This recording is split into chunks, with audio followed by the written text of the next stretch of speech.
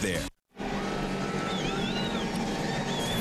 These NASCAR fans want to see some nationwide action, and we do too. So we hope we're just a moment away from going back to green flag racing. They know when they come to Lowe's Motor Speedway, as they have seen tonight, we had two laps of green. We've already had some pushing and shoving, and two caution flags, and even a brief red flag for a shower. But uh, back in the spring of this year, a lot of pushing and shoving. 12 caution flags for 44 laps caution for the 11th time tonight. I'm guessing that contact on the racetrack was not accidental. Uh, Denny knocked a fender off his car. I'm not happy about that. 83 looking out for his teammate, not going to take it. They're mixing it up down in the pits there. Somebody's going to punch somebody. for some reason, you know, he picked my back tires up uh, in the middle of one and two, pulled up beside me, so I retaliated. He doesn't like when guys race him hard. Well, that's the sport. I raced him hard, and he didn't think that was cool, so uh, he decided to take my left front fender off. If you throw a rock, I'm going to throw a concrete block back. Her brand's chances of having a good run, but it just tore the fender up. I mean, there was no, no excuse in it. Don't impress me by having your whole crew over here. Now, bring the driver over here and let us talk about it. That's how it ended back in May. Brad Keselowski came home with a pretty impressive third place finish despite that rubbing and shoving. He is third in the point standings here with five races to go and uh, trying to be able to catch Carl Edwards. He's got his work cut out for him right now. He is uh, over 300 points back of Clint Bowyer. I don't think Brad was thinking about that he could could get to Clint Bowyer, but his second spot uh, still is within reach. We got uh, one to go signal here at the line. Ready to go back to some racing. Jamie McMurray was our pole sitter, picking up uh, his second pole of the year and only his eighth start. Won the pole at uh, Gateway out in St. Louis. He has led all 14 laps thus far. Jeff Burton behind him in a 29 car making his final start here in 2008 and is yet to go to victory lane. Let's check in on McMurray. Dave. You know, Doc, uh, you and I covered uh, qualifying earlier for the Nationwide Series, and Jamie was so exuberant about his pole. And maybe that's because his car was so darn tight in practice. Tight, tight, tight, tight, tight. It was this whole weekend. And finally, they got it loosened up for the pole qualifying run and uh, running very well so far out in front of everybody.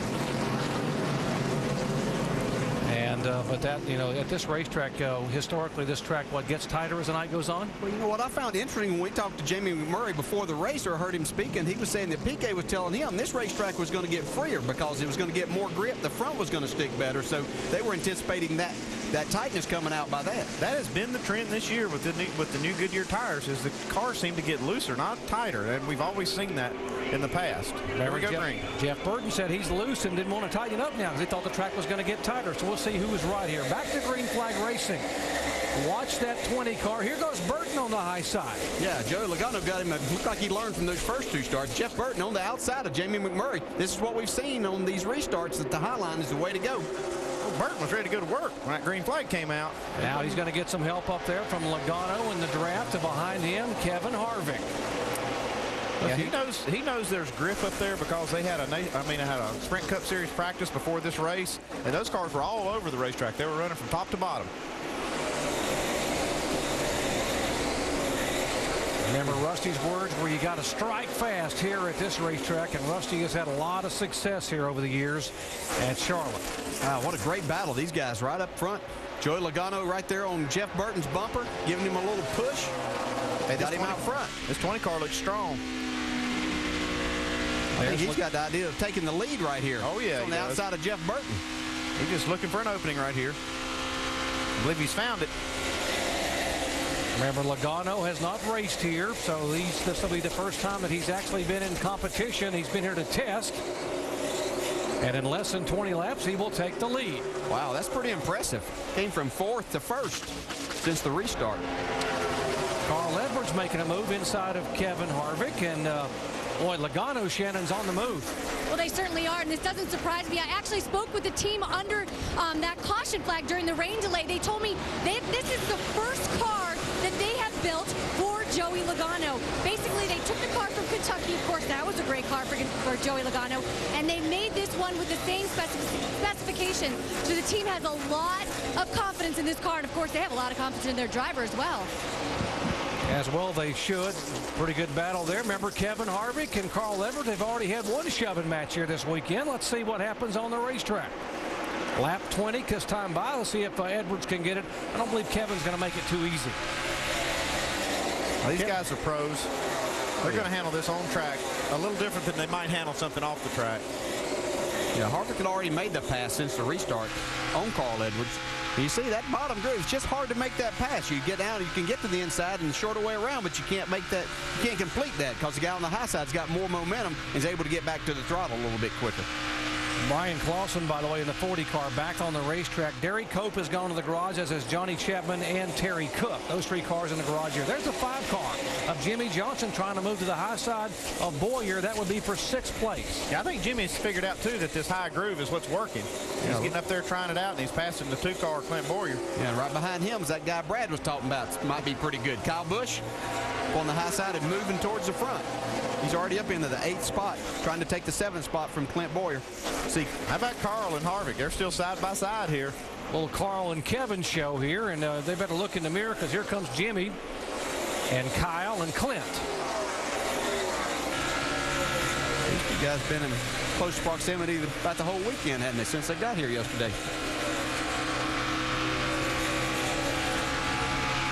Great shot right there. You can see, though, that that Kevin Harvick, we watched from his own board, just gets that little bit of a run down the straightaway. Carl comes back in the corners, taking the shorter way around. See, Kyle Busch has got around Jimmie Johnson in the five car. It looks like you can run that bottom groove and get about a car length through the middle of the corner, but to maintain that car length, you have to use the whole racetrack coming off the corner. And uh, if you got a car outside, you can't do that. Check in on Kevin Harvick. Mike. And you know what Carl Edwards is doing, keeping Kevin Harvick to his outside hip. That may be the best move.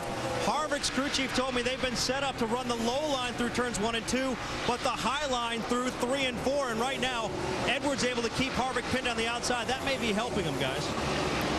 And Mikey's able to make the pass, and by keeping the door open, he's going to let Kyle Busch try to go by as well on the inside. Back up front, Logano, Burton. Jeff Burton didn't let Joey Logano get very far at all. He did take the lead away from Jeff Burton, but uh, just shadowed him the whole way here. Looks like Joey's gone back down to the bottom of the racetrack now. 35 car, Danny O'Quinn Jr.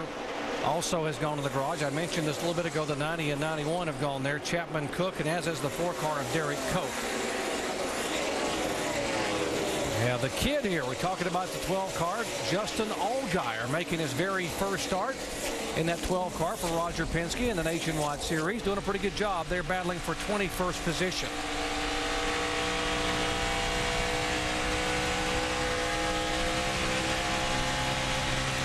See that highlight still gets that run down the straightaway. Dives back in the inside. Carl washes up a little bit there as Brad Keselowski comes back to the inside. The reason Brad Keselowski is back in 22nd spot is his car got real loose in qualifying. And uh, that might play into his hands if the track tightens up like we talked about. I'm not sure it's going to, but he had a loose car in qualifying. Here we see Marcos Ambrose making a pass. Clint Bowyer continues to slide backwards. That's going to put him uh, back to the 10th spot now. Yeah, Marcos had qualified seventh and dropped back to about 11th or 12th position and now picking him off and going back the other way. So he goes back around the two car to take the ninth spot away. We've got a lot happening right here. Yeah, 19th, 20th, 21st, and 22nd. Chase Miller in the 19. Gillett Evernham car. There is David Stremme, who had uh, had a, a difficult qualifying session. Had to start toward the back of the pack. Yeah, but he's made up 12 spots, and he's already up in front of these guys. You see that 88 car still real loose. Yeah, man, he was trying to, he keeps working that inside and trying to get by the, the 12 car, but he just can't make that move work because he's so loose getting down into the corner. More on David Stremme. Shannon.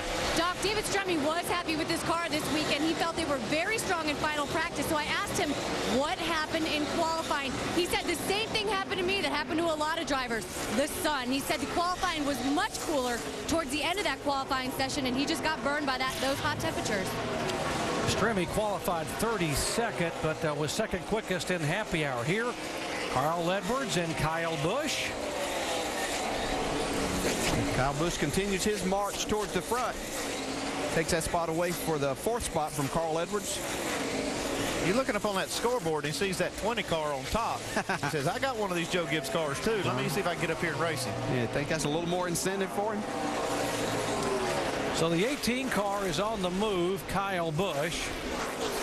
After starting back in 16th position, but his uh, teammate, 18-year-old Joey Logano, is the leader in his very first start here in Charlotte.